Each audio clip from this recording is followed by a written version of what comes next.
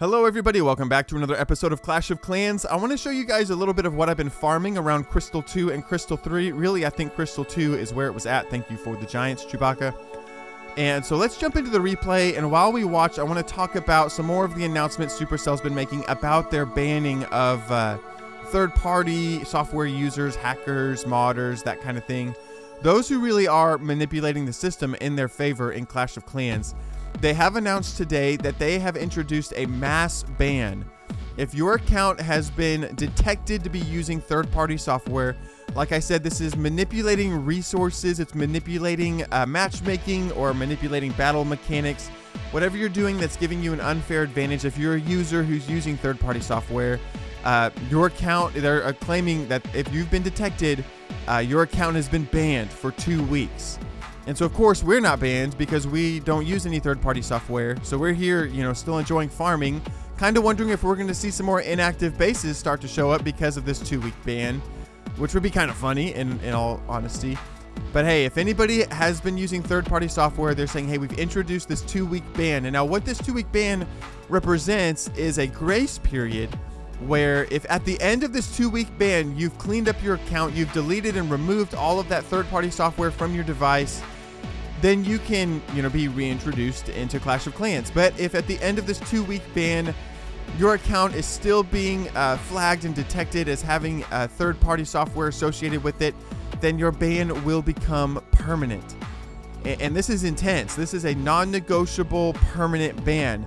Now, of course, there are going to be the rare cases where maybe somebody's account is being flagged by mistake, but Supercell is claiming that's going to be very uncommon. If you've been flagged, it's pretty sure that your account is using third party software. And if you don't get it off your device during this two week grace period, you're going to be permanently banned. So, uh, wow, that's a big deal. That's a big commitment. They're really stepping it up. Man, we've got some good loot coming in. We've got to get this elixir off of this side and from this collector over here toward the top. So yeah, I like I said, I mean it's a big deal. It seems like this is it. We've taken the first step. The real banning is underway. This is just that two-week grace period, and we'll have to be watching the forums and watching, uh, you know, some of the channels we keep track of to see what uh, what people start to report. Hey, I don't know how many people have really been banned. I don't know if this was like a huge number of people or if this was like a percentage of the people who are modding or, or what this represents, but it is a big deal because it's two weeks, and then if you can't get cleaned up by then, it's there's going to be a permanent ban. Uh, so that's interesting. That's interesting. I, that's this is I mean the timeline. I guess it's two or three weeks after they made their initial announcement, and uh, it's a pretty big deal. I mean that sounds really intense. Supercell is not messing around. So as you can see, we've still got an elixir collector over there with a lot of elixir left in it. I want to get over there, but it doesn't look like anybody's left to go target that. We're out of time. We still walk away with a huge number. So let's jump back to another replay real quickly. Where was that one at? 400. Let's go jump into this one. So this is the kind of stuff I would be nexting and nexting and searching and searching. And then after maybe about 10 or 12 minutes, something like this will show up where the collectors are just loaded. Now, I I see loot in storages as I'm nexting, uh, but that is just getting harder and harder to get to without my heroes. I'm really been kind of scratching my head about what I'm gonna do. Uh, in the meantime, without my heroes, I'm really depending on these bases for my loot, and uh, and that's really all I have to say. I mean, it's collector raids are what I'm relying on while my heroes are upgrading.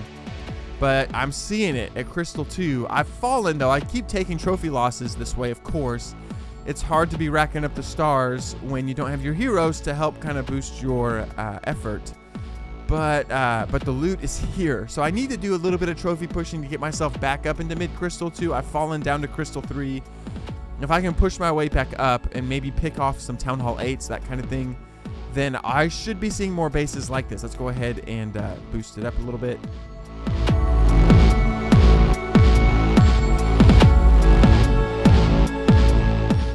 Trying to avoid that king. The king and queen are really bugging me. I've got some more collectors I can get up here. I'm going to drop those giants just to make sure I can jump in and get the rest of that elixir. And then, of course, I'm going to look over here. Oh, got that elixir collector. Going to start to uh, make my way across the side. Here comes another giant. Man, the uh, heroes are still doing pretty strong up there. The goblins are really going to help me uh, target those specific collectors I want to get, and that's really what I've got to rely on down here. With anybody that's left, drop the giant to get the distraction going on, get the archers there, keep you know targeting the queen, but the goblins will get in there and target that that uh, sorry uh, gold collector, and they almost got it. But look, there's one down here in the deep, and I want to try to reach in here and get it. Can I get it? Got the giants doing some distracting, mass amount of troops, dropping the heal spell just to keep the archers alive long enough to get in there. If I can get that dark elixir collector, it will be awesome. Oh, we ran out of time. That's right. So we don't walk away with quite as much dark elixir as I wanted, but still, I mean, you can't complain about those numbers. So working out pretty good. All right, everybody.